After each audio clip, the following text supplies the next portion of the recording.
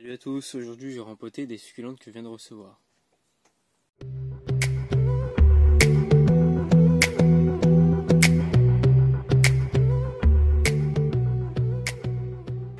Donc il y a une semaine j'ai reçu ces succulentes là. J'ai reçu euh, en tout 6 euh, succulentes. Donc j'ai reçu une Echeveria chroma, une Echeveria euh, chaviana peregrina, une Echeveria raindrop, une Echeveria blue prince, une Echeveria blue curls et non blue waves pardon et une, une Crassula tetragona. Donc voilà ce que j'ai reçu. Donc pour rempoter ces plantes là je vais utiliser ces pots là dont euh, un plus petit et euh, si je vois que je manque de pots au final je vais reprendre peut-être un ou deux pots euh, d'ailleurs que j'ai quand même en réserve. Donc mon mélange terreux c'est simplement terreau universel et sable, environ 45% de sable et 55% de terreau. Donc en premier, on va rempoter euh, la petite Echeveria Chroma euh, dans le plus petit pot, du coup, celle qui prendra le moins de place euh, à terme. Ensuite, je vais l'enfoncer un peu plus profond que la base des feuilles, vous voyez la base des tiges qui démarre. elle va s'enraciner plus, comme ça.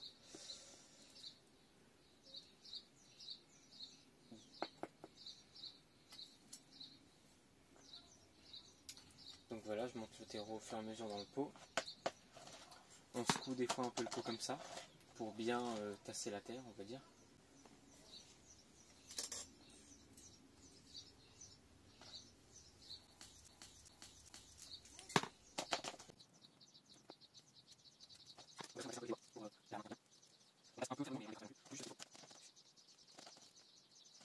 Voilà, pour cette plante là, ça va être bon.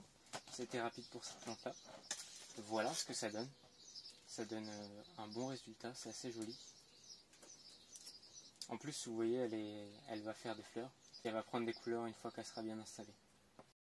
Ah oui, en fait, j'ai oublié de vous dire, parce que je l'avais complètement oublié.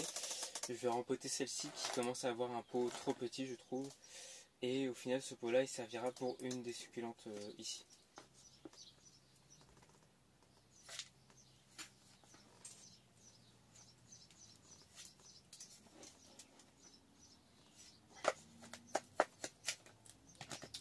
Pas de tasser un peu le terreau au fur et à mesure.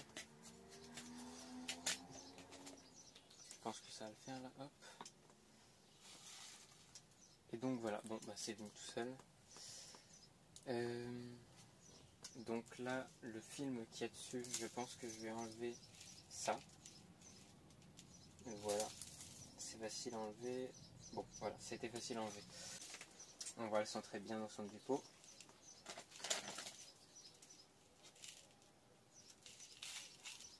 Découvre un peu. Voilà. Bon, on va finir de remplir de terre le pot.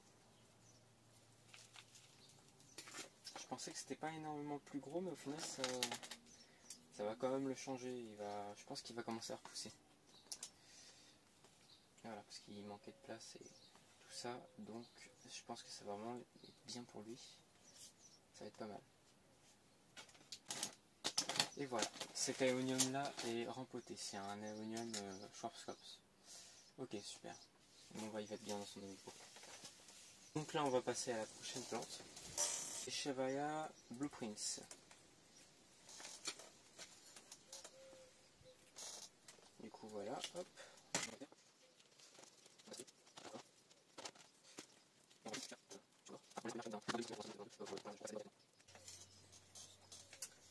Donc là, on fait un petit trou pour la plante. Hop, voilà. Donc là, on retasse un peu autour.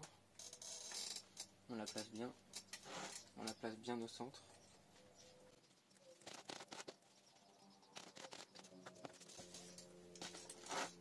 Voilà. Donc hop, une succulente de plus de rempoter. Voilà.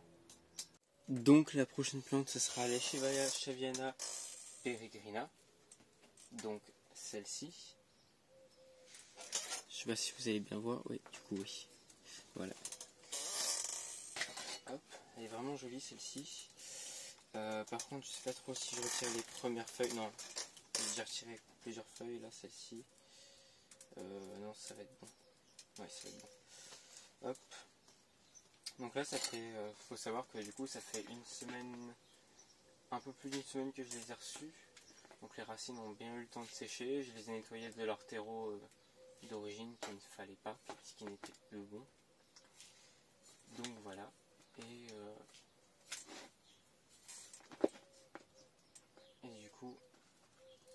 Maintenant c'est bon.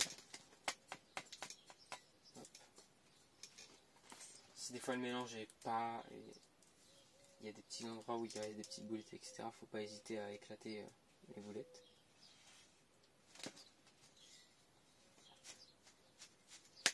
Comme toujours, on tasse bien, sans trop tasser bien sûr. Le but c'est pas de faire un, un bloc dur.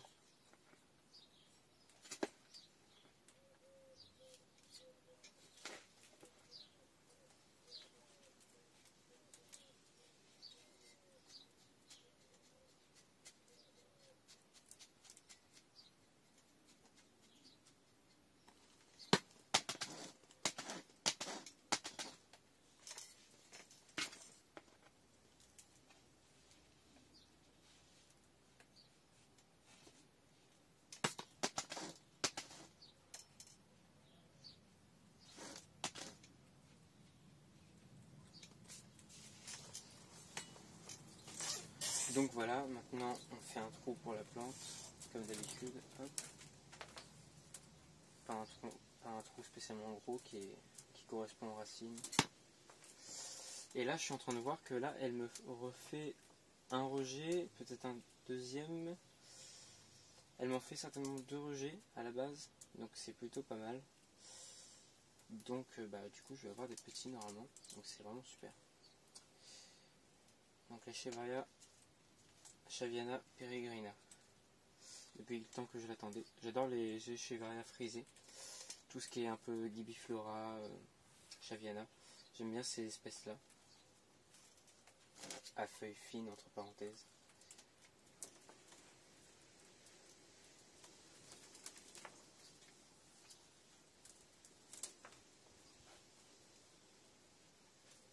C'est vraiment des espèces intéressantes. Donc là, je fais bien attention aux feuilles de ne pas les enterrer parce que sinon elles vont pourrir. Hop.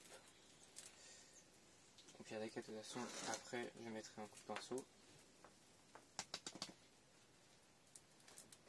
Si on manque de terre, on en rajoute bien sûr.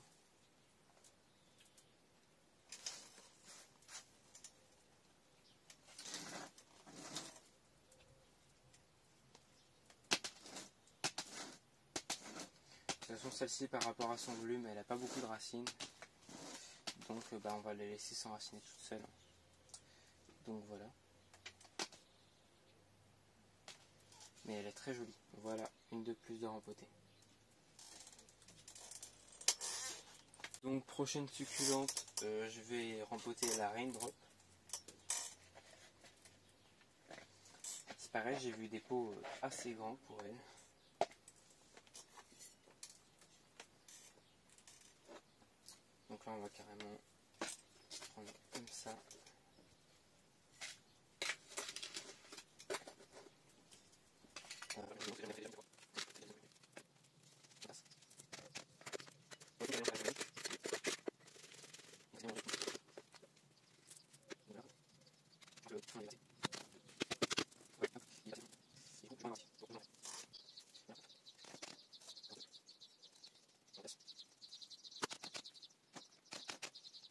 un trou. Hop.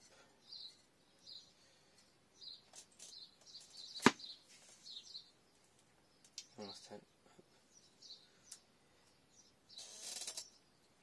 On essaie de bien la centrer.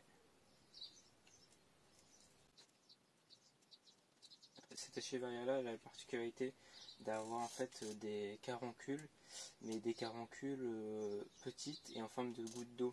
Donc d'où le nom de, Raindrops, qui veut dire goutte de pluie en anglais.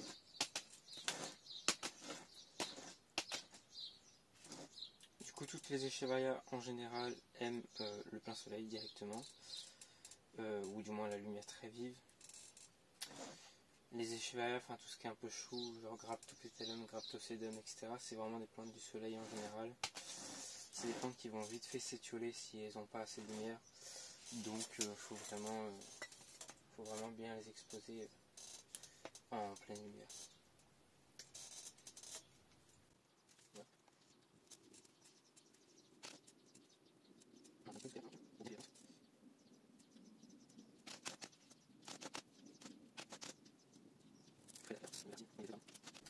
Donc voilà pour cette euh, Voilà.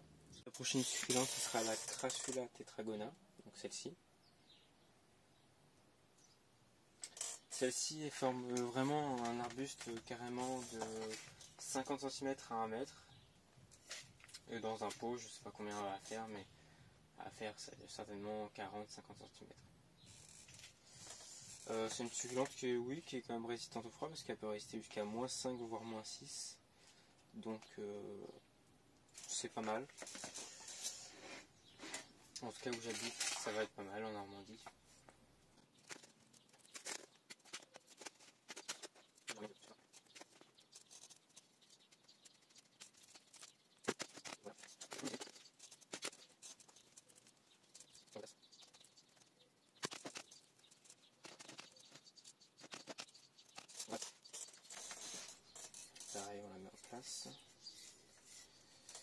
Là, je vais, je pense, l'entailler un peu plus profond que sa, que sa base, parce que sinon elle va, elle va pas tenir debout vu, le peu de racines qu'elle a.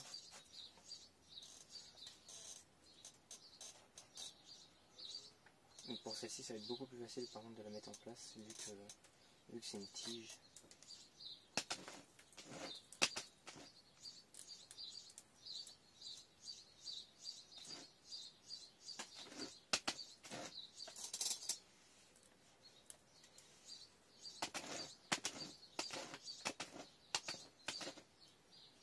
Voilà pour celle-ci encore. Il faut se dire que là ça paraît petit dans le pot, euh, mais ça va vraiment grandir. Donc, donc pour euh, les Chevaya euh, Blue Waves, je vais prendre celui-ci. C'est un vieux pot, mais ça va le faire.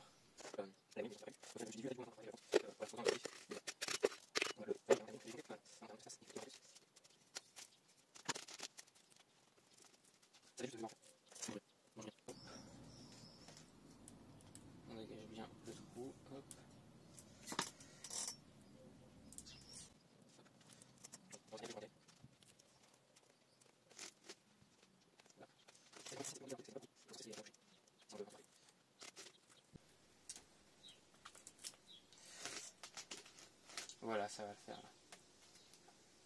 Encore un peu plus par là. Donc voilà pour celle-ci. La Blockers. Bon voilà la vidéo euh, rempotage des succulentes que j'ai reçu est terminée. J'espère que ça vous a plu, que vous avez bien compris euh, comment on faisait, etc. Et euh, du coup, si ça vous a plu, n'hésitez pas à liker, commenter et partager. Et sur ce, à bientôt dans une nouvelle vidéo.